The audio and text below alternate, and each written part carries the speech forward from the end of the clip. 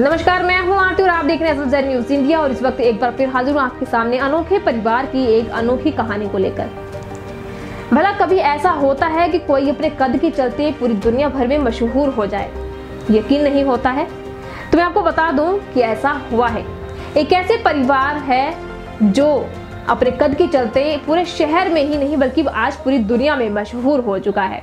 ये परिवार जब जब बाज़ार में निकलता है तो लोगों की नज़र उनके ऊपर ठहर ही जाती है। आखिर कौन है ये परिवार? कहाँ से आया है और कहाँ है ये परिवार जिसे लोग देखने के लिए ठहर जाते हैं?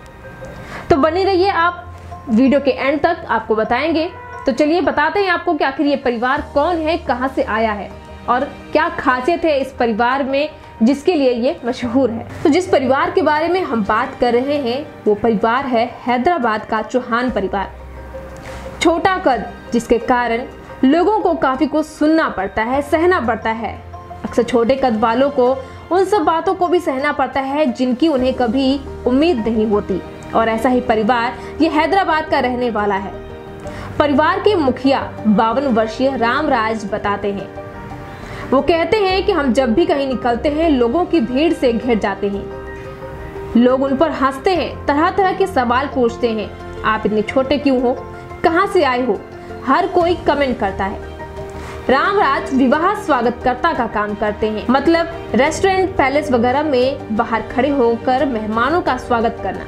लेकिन उन्हें नौकरी की ज़रूरत है, क्योंकि परिवार की ज़रूरत बड़ी है। विवाह स्वागतकर्ता का काम घर चलाने के लिए पर्याप्त नहीं हो रहा। वो कहते हैं कि कोई उन्हें नौकरी देने के लिए तैयार नहीं होता। जो भी मिलता है, पूछता है कि आखिर कैसे आप काम करोगे। रामराज की 27 वर्षीय बेटी अंबिका अकाउंटेंट की नौकरी करना चाहती है। लेकिन उसी विकार से पीड़ित है जो पिता से उसे मिला है। उसे भी नौकरी तलाशने में कठिनाई हो रही है। अंबिका के मुताबिक वह इसलिए रिजेक्ट कर दी जाती है क्योंकि लंबी नहीं है। वहीं अंबिका का छोटा भाई टेलीफोन बूथ में काम करता है और बड़े भाई की पत्नी टेलर है। जैसे तैसे सब गुजारा कर रहे हैं। रामराज कहते हैं कि ये विकार पुरुषों के लिए भी उतनी ही बड़ी समस्या है, लेकिन बेटियों की चुनौती बड़ी है क्योंकि आगे चलकर उनकी शादी भी करनी है। अनुवांशिकी का यह विकार रामराज के परिवार से आया है।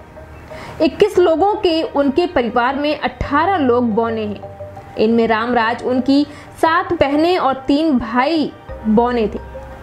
कई तो अब गुजर भी चुके हैं। ये परिवार शारीरिक समस्याओं से भी जूझ रहा है। ज़्यादातर के पैर कमज़ोर हैं। अंबिका के छोटे भाई को तो चलने के लिए सहारे की ज़रूरत पड़ती है। खास बात यह है कि रामराज की पत्नी की लंबाई सामान्य है, लेकिन उनका कोई बच्चा लंबा नहीं हुआ। तो जैसा कि आपने देखा, ये कहानी थी एक अनोखे परिवार की।